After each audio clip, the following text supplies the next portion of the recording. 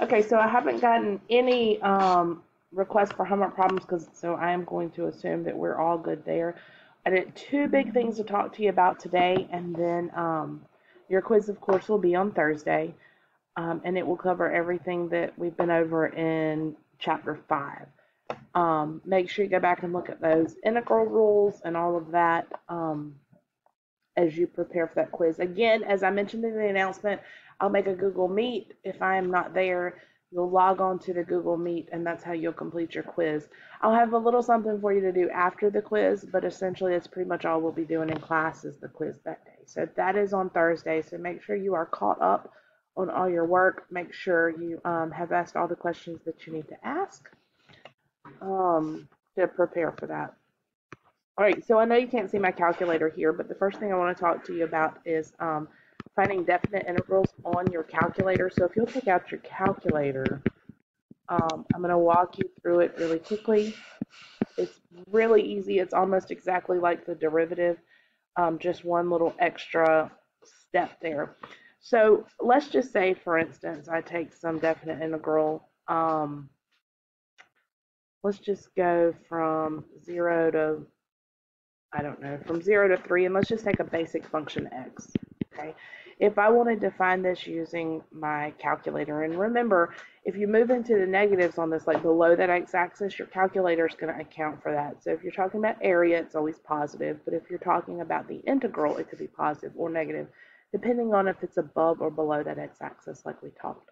But here's what I want you to do. I want you to go into y equals on your calculator and just put your function, whatever function it is that you're trying to find here. So in this case, of course, it's x. Now, once you have that in your um, your y equals, just like when we use the calculator to do the nDeriv, we're going to do the same thing. We're going to come out of the y equals and come back on the main screen of your calculator. And you're going to hit the button that says math. And normally, remember, we would go down to nDeriv, but we're not going to do that this time. We're going to go to the one right below it um, and it should say um, function integer or some or integrate or something along those lines, but you should see something along this. It should be option number nine, and that's what you're going to choose. Okay. Now, when that comes up, just like the deriv, you've got this integer, you're going to have a parenthesis, and the first thing that goes here is your function. That is the function that you are trying to find the integral of originally. Okay. So of course this was our, we put it in Y1 because it makes it easier. And if you don't remember how to pull up Y1, if you go over to VARS, right beside the program button, then scroll to the right to YVARS. That very first option is function. If you hit enter on that, and then choose, of course, Y1 for what you want. All right, so there's your function then you need to do it again with the variable with which you're doing this with respect to. So of course this is the x, so we're going to do it with respect to x. And then you want your lower bound and upper bound. Okay, so low bound, this is your a. So we're going from 0, and then this is your upper bound, which is your b, which is 3. Okay, and if you do this, let me just do it on mine quickly so we're together from 0 to 3. Now remember, and we will do this algebraically to make sure we get the same thing too. I get 4.5 here. Okay, so just to show you why this works or how this works, if my function is x, remember that is a line, starts at 0, has a slope of 1, and I'm going up to 3. So 1, 2, 3. So I'd be at 3, 3. So there's my there's my function, but I am going from 3, and I have this shape that is a right triangle. So if I wanted to find the area here, I would do 1 half the base, of course, 1, 2, 3. And the height is 3 as well. Oops getting ahead of myself. 3 times 3 is 9, and of course 9 over 2 gives me back the 4.5. So make sure you can put that in your calculator and you can use that to evaluate because that is going to greatly help you with what we are doing today, which is the average value of the function. Okay, if you need to pause that, rewind that, or anything, write those steps down or follow along, feel free. I'm going to go ahead with the average value here.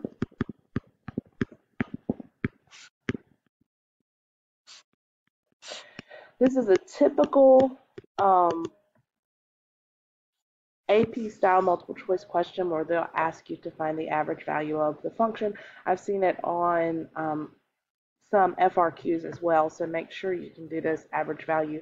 And so average value is a pretty easy um, concept. All we're going to do, if I've got this function, actually, we'll call it f of x, okay? And we need to make sure that f of x is continuous on some interval AB. Okay.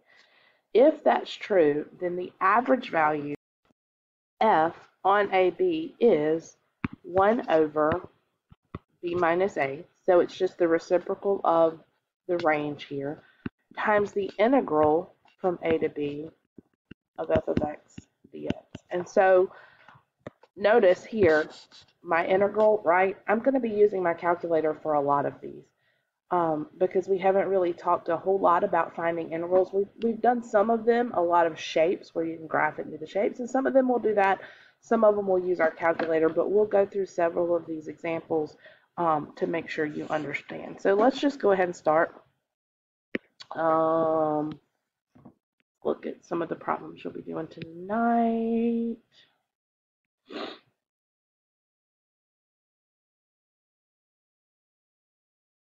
Um, let's look at this little section 11 through 14. Let's do 11 together.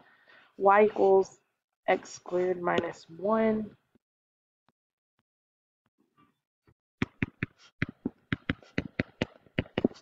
And it asked us to find the average value of the function on the interval from 0 to the square root of 3. And we know that this function is continuous on that interval because it is a quadratic, and quadratics are always continuous, so we don't have to check continuity here. Um, what I do need to do, though, is go ahead and set up my average value here. And so I'm going to do 1 over, of course, the b minus a, so square root of 3 minus 0 times the integral. I'm going to go from my low bound and upper bound, so from 0 to square root of 3 and I have x squared minus 1. Now the directions on this ask me to use the function on my calculator, so that is exactly what I'm going to do. Um, I have 1 over the square root of 3, so again, I'm going to plug in here um, my x squared minus 1. Put this in your calculator. So I'm going to put the x squared minus 1 in the y equals and I'm going to go into my um, calculator here, the function integrate, and I am going to um, do from 0 to square root of 3. And if you do that, you should get 0. Okay, which means the average value of this function on the interval from 0 to square root of 3 is 0. Now remember, I'm talking about average value of the function.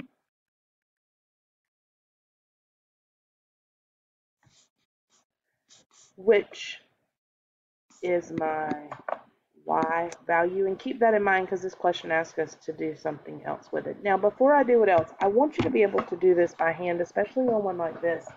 So what I want you to do is I want you to think about this in terms of antiderivatives, okay? So I want you to think about um, this in terms of this antiderivative. So can you think of if f of x is x squared minus 1, can you think of an antiderivative that would work? Um, and I say, can you think of one because there are multiple. Remember, we have that constant, that nagging constant that hangs over. But I hope you recognize that a um, an antiderivative of this might be one third x to the third minus x, right? Um, and all I did was I did that backwards um, power rule there to find the antiderivative. Of course, I would have a plus c, but since I'm talking about a definite integral, I don't really have to worry about the plus c right now. So to evaluate this, what I could do is antiderivative of square root of 3 minus antiderivative of 0, and let's just see what happens here. The antiderivative of the square root of 3 would be 1 third times the square root of 3 cubed minus the square root of 3. Remember, I'm not going to worry about that c right now because it's not going to matter with it being a definite integral.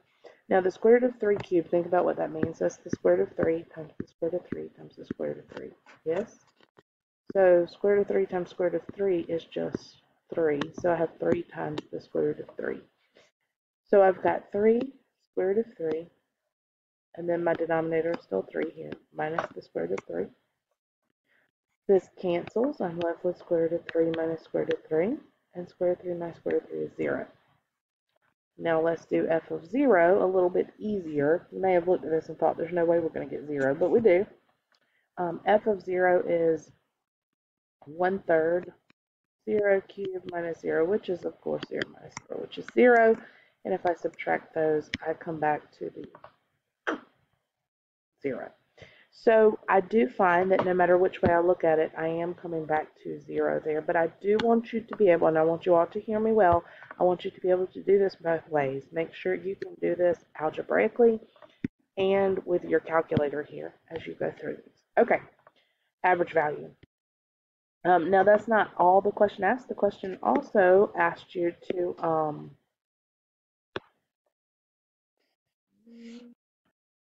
point in the interval does the function assume its average value?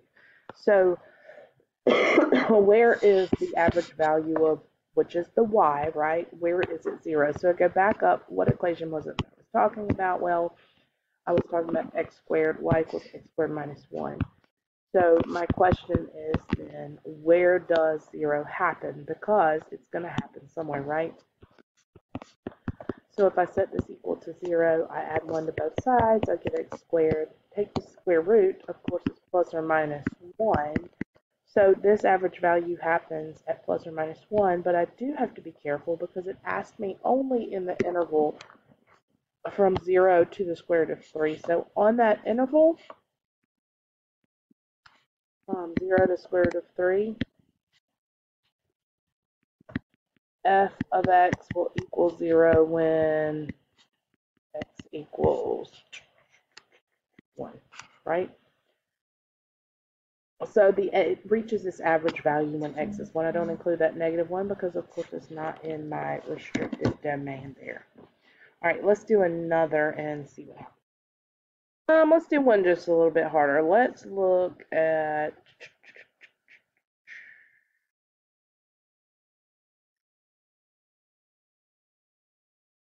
look at 36. Secant x tangent x.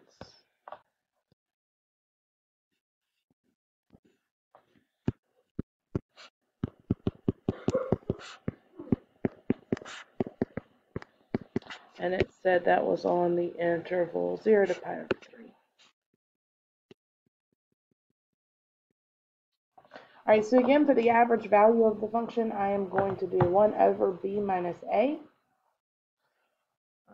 So I've got 1 over pi over 3 minus 0 times the integral from a to b, secant x tangent x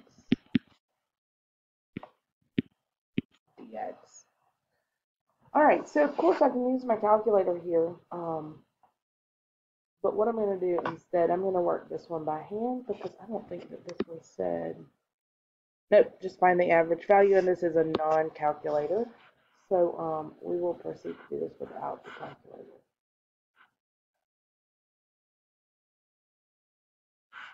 All right, so the first thing I need is I need a good antiderivative of secant x tangent x. Um, and of course, if you know your trig functions, which I hope you do, you know that, oh, excuse me, the derivative of secant x is secant x tangent x. So a good antiderivative here would be secant x. Um, so I'm going to do 1 over pi over 3 times, I'm going to do secant x, and I'm going to evaluate that from 0 to pi over 3. And of course, up here at the front, instead of pi over 3, this is going to be 3 over pi, since it's 1 over that is the reciprocal. And I want to do the secant of pi over 3. So there's your unit circle minus the secant of 0. So just to talk you through how I would think about this if I couldn't remember the values on my unit circle, I always think about that very first quadrant there. Pi over 3 is up here at the top. Right, pi over 6 is down here. Nope. Sorry. Okay, no, I'm right. I'm right, I'm right. It's pi over 3. Up here we go, 6, 4, 3. Sorry. So the coordinates here of this point, 1 half square root of 3 over 2. And we know that the square root of 3 over 2 is bigger than 1 half. So if you're wondering which one goes where, look at do you go across further or do you go up higher? And of course, because this is closer to my y-axis, I'm going up further. So that's my bigger number. All right, so secant is 1 over cosine, or the reciprocal of cosine, right? So cosine is my x, so I'm looking at this value. So the reciprocal of that is 2, so I have 3 over pi times 2 minus, and then what's the secant of 0? Well, at 0, my cosine here is, of course, 1, 0. It doesn't matter about the reciprocal there. So I have 2 minus 1, which is 3 over pi times 1, which is just 1. So that's the average value. Um, it does not ask me where that occurs, I don't think. Nope, it just says to use antiderivatives to compute that, which I have done, so there we go.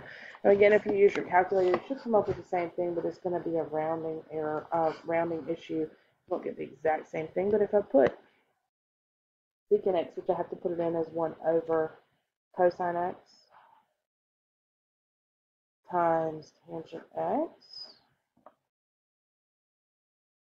That's my y equals. Now I'm going to go into my integer. I'm going to pull up y1.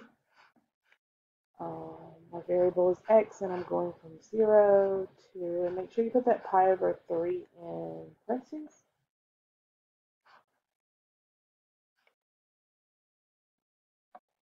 I get 1 for that, which is this part, and then of course I need to multiply it by the 3 over pi.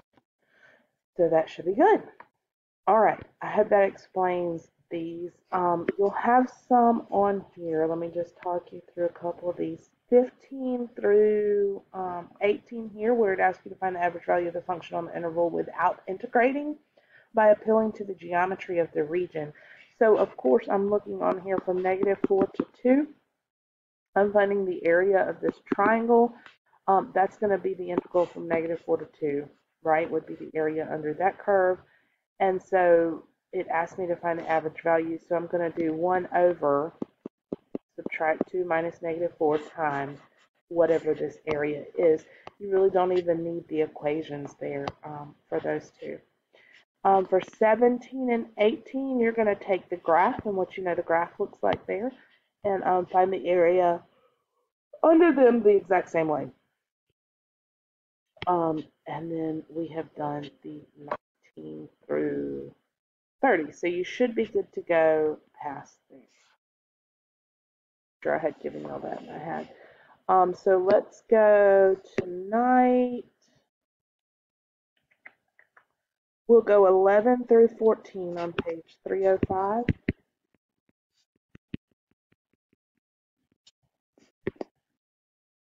And then actually 11 through 18. 18. And then pick up with the ones you have to do by hand here. So 31 through 36. Okay? That should do you.